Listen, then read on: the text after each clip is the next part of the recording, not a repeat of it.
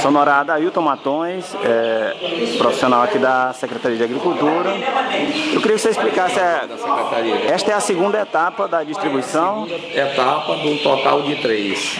É, como é que é, vai ser distribuído em que lotes? Como é que são, os lotes vão ser distribuídos? Três lotes de dois.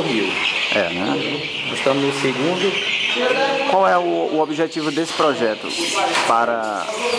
O, o objetivo é apresentar aos produtores de Caxias uma, uma linhagem com um potencial produtivo melhor. Uhum. E, em resumo, é uma excelente oportunidade de negócio que a gente está oferecendo para os produtores de Caxias. E está sendo provado, já temos depoimentos já de alguns produtores do primeiro lote que estão satisfeitos com o resultado, já com, com as vendas dos ovos, então, e alguns já investindo em novos lotes, por conta, por, é, comprando pintos para é, ampliar o, o negócio.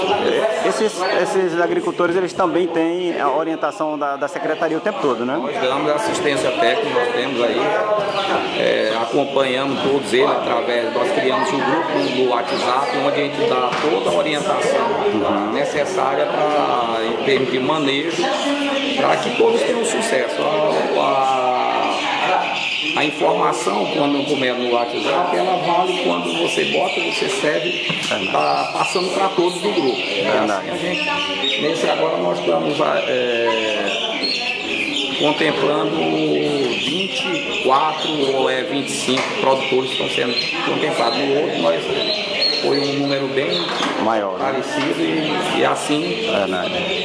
Ok, muito bom.